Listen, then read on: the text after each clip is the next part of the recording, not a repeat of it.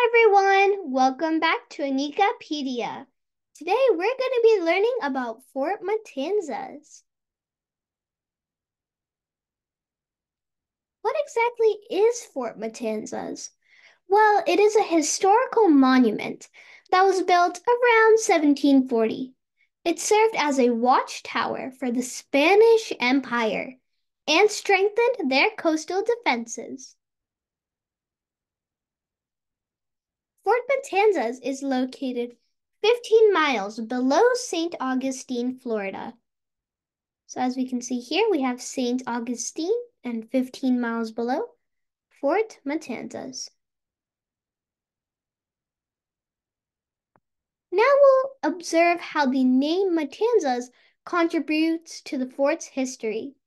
So Matanzas means slaughter in Spanish and the fort got its name from the Matanzas River, where unfortunately many bodies were disposed. The name Matanzas was given after many French people were killed by Spanish forces. Pedro Menendez de Aviles was a Spanish general who captured Fort Caroline, a French fort. Most soldiers in Fort Caroline were absent, meaning that Menendez was easily able to capture it. Many people were killed and died, hence the name slaughter.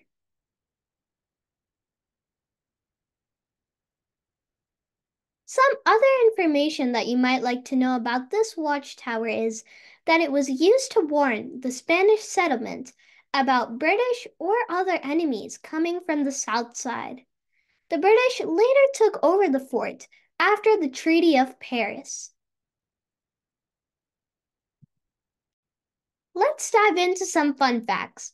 Our first fun fact is that Fort Matanzas is 15 feet wide, 50 feet wide, and 30 feet tall, and it was built from a local shell called coquina, frequently used in construction.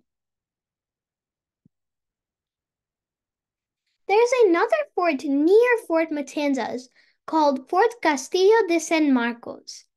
Fort Matanzas was built after this fort when the Spanish people came to the realization that the Matanzas Inlet was not properly protected from enemies.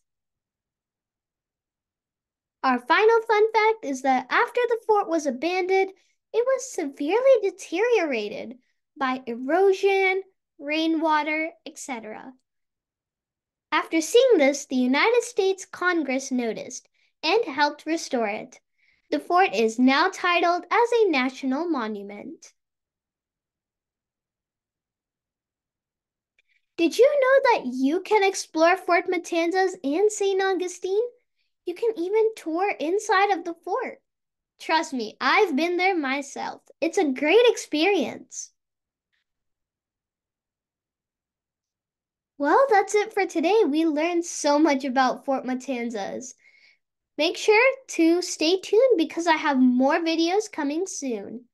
Make sure to like and subscribe to my channel, and I'll see y'all next time. Bye!